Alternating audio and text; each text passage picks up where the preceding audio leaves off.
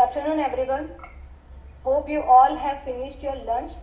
Now let's start with our post-lunch session with the first lecture with the speaker Dr. Digambar Nayak sir. I would like to welcome the, the speaker Dr. Digambar Nayak sir with the topic Will USG replace stethoscope? I would like to invite chairpersons for this session are Dr. Bijay Kapadia sir and Dr. Ganesh Nakle sir.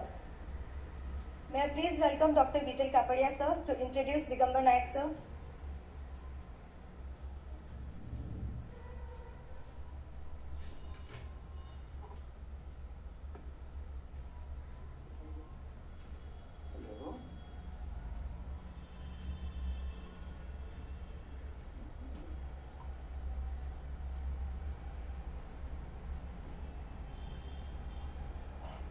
Hello. Bijal. You're not on the line as yet.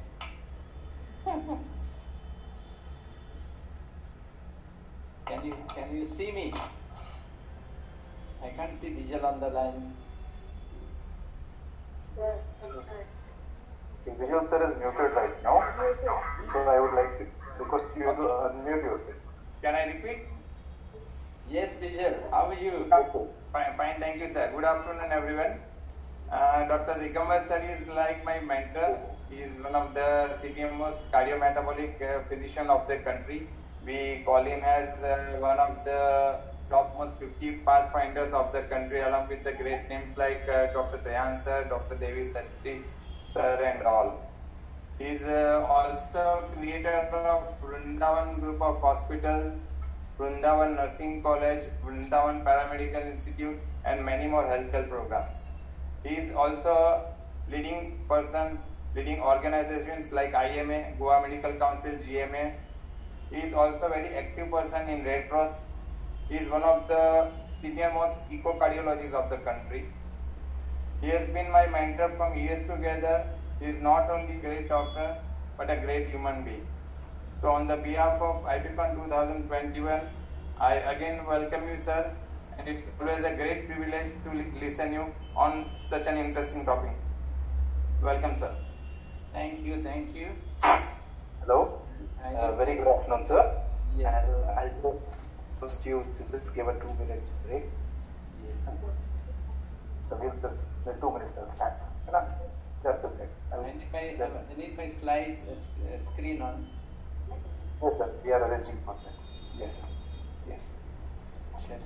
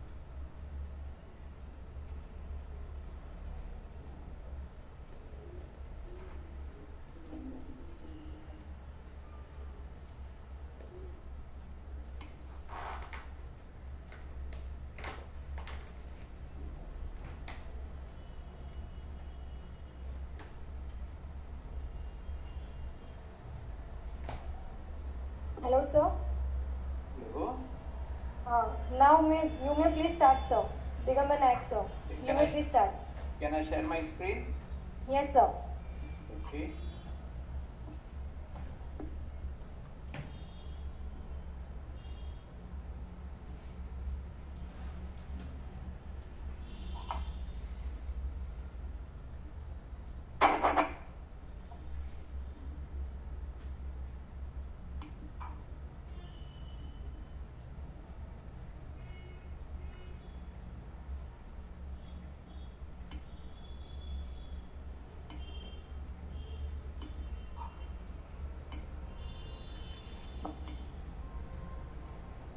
see my screen? Yes, Yes, sir. sir. We can. Uh, uh, all right. Thank you, Bijal. Thank you so much. Thank you for giving me this opportunity to be with you at this from this beautiful place called Goa. Well, I think you you will prefer to visit Goa as many times as possible. Well, my topic is a very, very, very sensitive topic. More than scientific, I think it's an emotional topic. Will uh, uh, uh, handheld ultrasound replace our age-old stato? Well, let's look at the universe. We always see the universe constantly evolves. Everything in the universe evolves. Nothing is static. So there we are going to see a lot, a lot of changes over a period of time. Look at our medical practice. Right? Look at the way we used to manage the people in ancient time. And mind you, we used to cure them.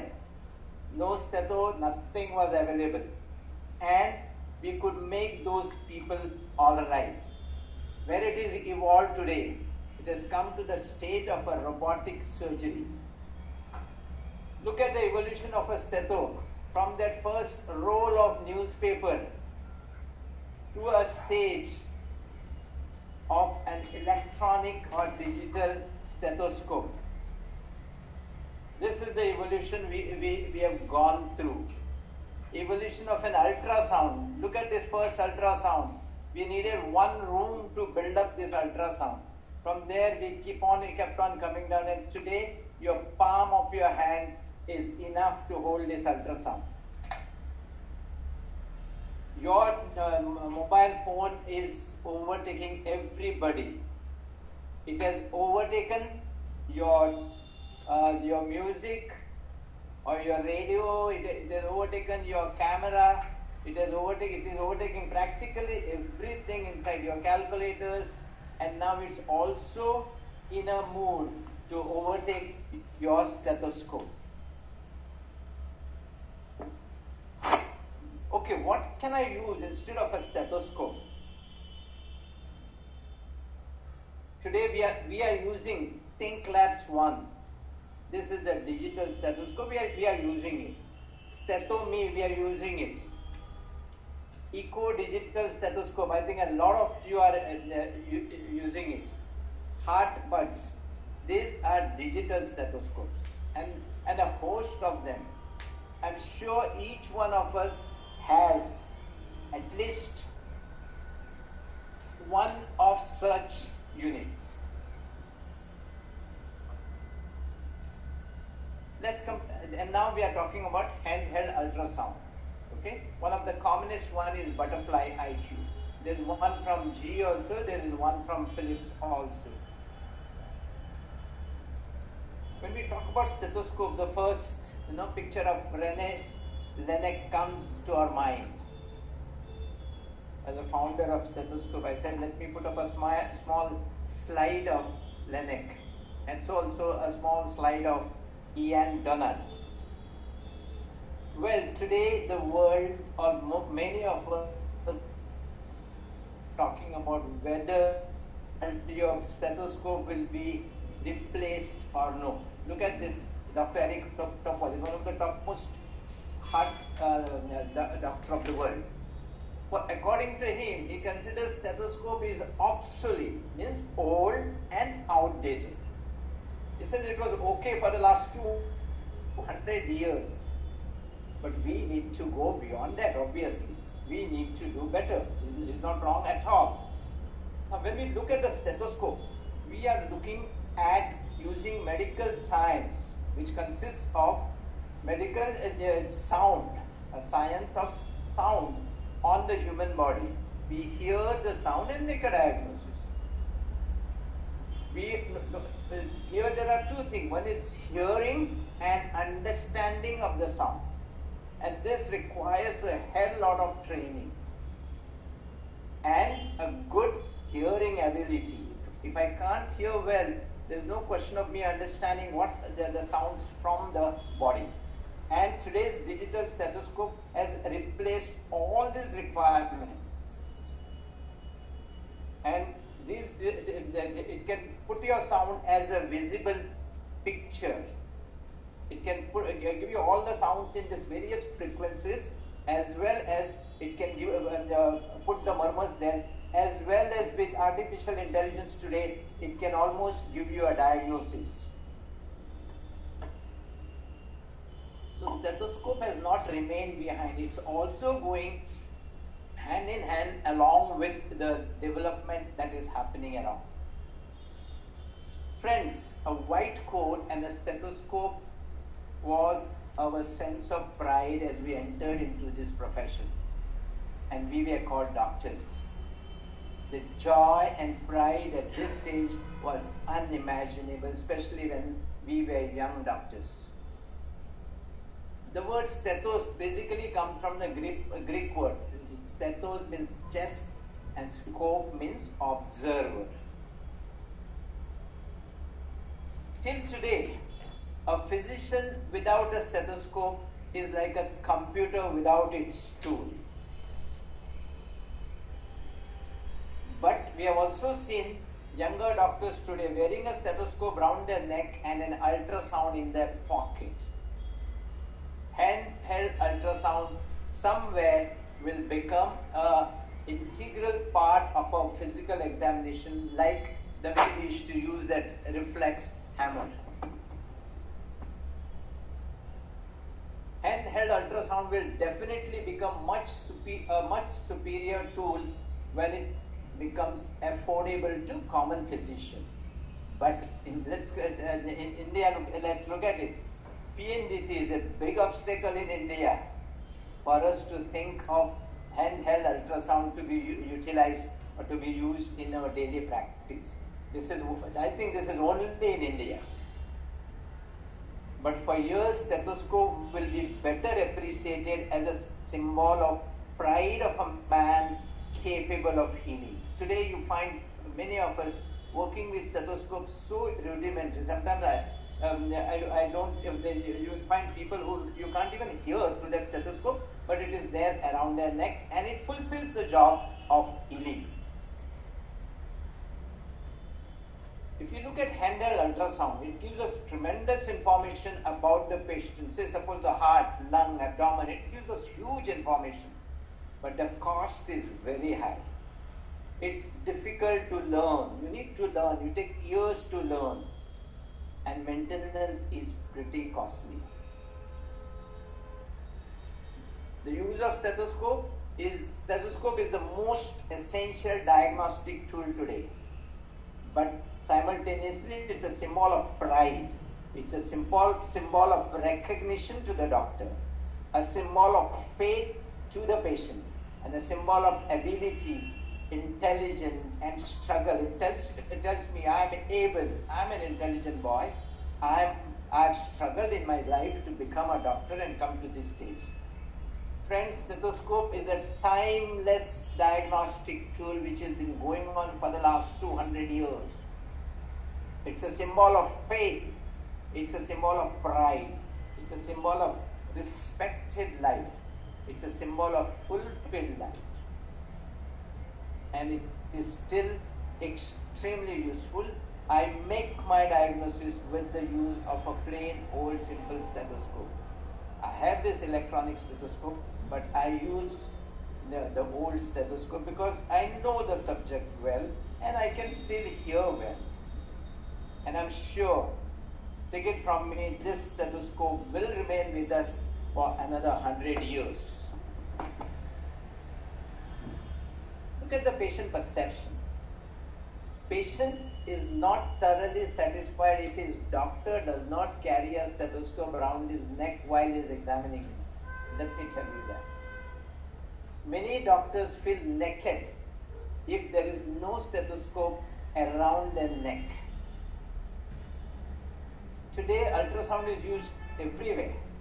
Besides ultrasound room, it is used in your emergency room, it is used in the uh, OT, it is used in ICU, it is used at, for a home, for a home visit, and it has been also used in the space. It's one of the safest tool to use, and there is no radiation. There is no radiation, and you can repeat it as many times as possible. So it is one of the best um, tool in the hands of a physician today. Alternatives to stethoscope, we have this handheld ultrasound and what we call it as empirical mode decomposition. This is these are all the digital stethoscope that we have today, like a Harvards. Handheld ultrasound is definitely complementary to stethoscope, but as on now, it is not a replacement to stethoscope. It is costly, it needs training, and but its use, if I can use it, I can avoid a lot of costly tests to the patient because uh, that itself gives me a good diagnosis. At this stage, friends, I just want to mention a few things about what is health. You know, it, it was 1948, uh, WHO gave a different direction to the world that for us health, If ill health disease was um, absence of a disease. That was a the help to us, and disease means having some problem inside.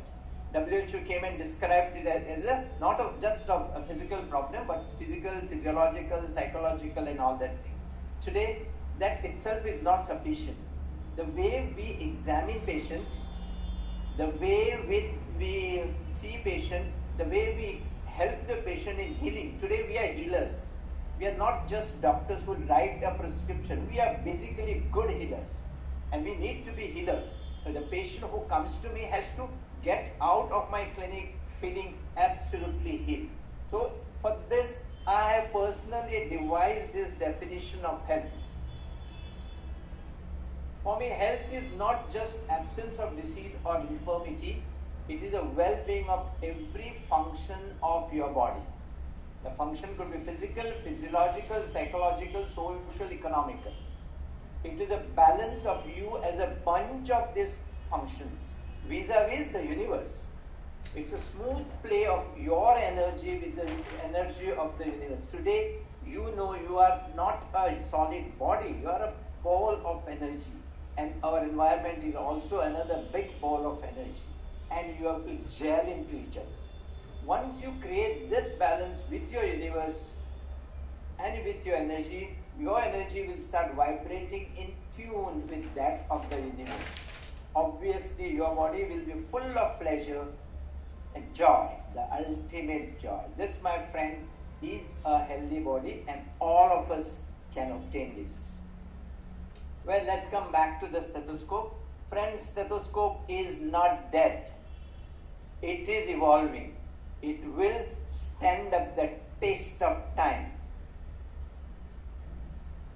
All the costly handheld devices which give an enormous amount of information will never ever be superior to a doctor than his cheap stethoscope, a symbol of being a doctor. At present, it may be replaced by, by handheld ultrasound, but for abnormal and lung and vascular alteration or auscultation, it is still the best. Now, what has happened to stethoscope and our COVID infection? Corona pandemic has definitely given a jolt to the relation between a physician and a stethoscope. For the first time, I'm uh, for years, for last 45 years, my stethoscope was always around my neck but corona has separated it from the neck. I see the patient and keep the stethoscope hanging now. We are, for the first time, we are definitely getting aware that stethoscope can be a, a source of uh, a symbol of infection, both to the doctor as well as to the patient. This will this be a nail in the coffin of stethoscope? This is one real, real challenge to our stethoscope. Friends, by using stethoscope, can I practice? Certainly yes. I can cure, I can heal my patient only by using a stethoscope. Should I practice the same way? I don't know. Will I practice the same way? Definitely not. I need many more things like ultrasound besides stethoscope for a good practice of mine. Friends, stethoscope will always be there as a symbol of my existence as a doctor, as a part of my life, and I will always be proud of this little tool called stethoscope. With 45 years, I think stethoscope will still stay with me for another 30 40 years, depending upon how much I practice subsequently. Thank you so much.